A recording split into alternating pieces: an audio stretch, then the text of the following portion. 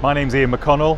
I'm the Franchise and Programmes Director for Greater Anglia, and my job is to lead the £1.4 billion investment into GA's network. It's going to completely transform the lives of our customers, um, and we're making a massive difference to everyone that travels. We're replacing every single train on the network, and it's also a multi million pound investment in infrastructure, stations, depots, and all associated areas that, to help those trains run lockdown has been a really interesting time for my team in, in lots of ways.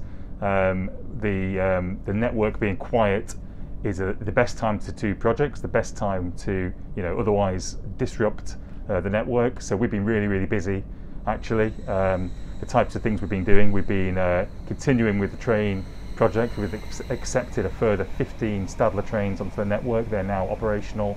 Uh, Bombardier trains have uh, progressed really well. And we've also made loads of progress on some of the big infrastructure projects at Ilford Depot, uh, at Norwich Crown Point Depot.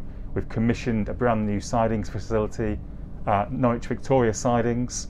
Uh, that's 420 metre roads, brand new overhead lines, uh, all gone live uh, during the lockdown. So loads and loads going on from the team. One of the challenges we've overcome very recently is to install a new train lifting facility at Clacton Depot. Um, that was a big, big challenge because the team, the supplier who was delivering uh, the project for GA was based in France.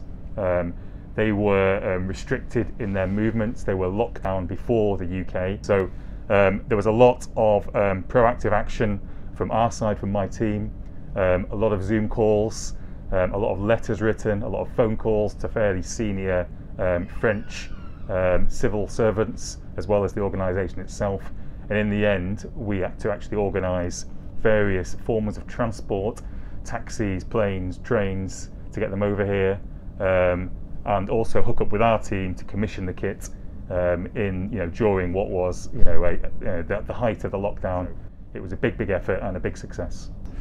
Other challenges we've had, uh, for example, with Bombardier, our train manufacturer, um, unfortunately for them, they had um, an impact because of the COVID shutdown and their supply chain. They had to actually um, shut down their train production line um, for a number of weeks um, in May-ish, uh, just a few weeks ago. So that was a big, big challenge for us because we are getting very close to um, the culmination of this project and introducing the trains.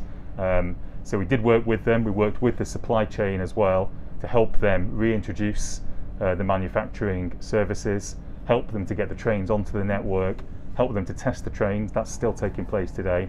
So it's been a real joint effort, um, a real partnership actually between GA and Bombardier. And actually, they've made an incredible amount of progress in the last few months. And as a result, we're very close to putting those trains into service.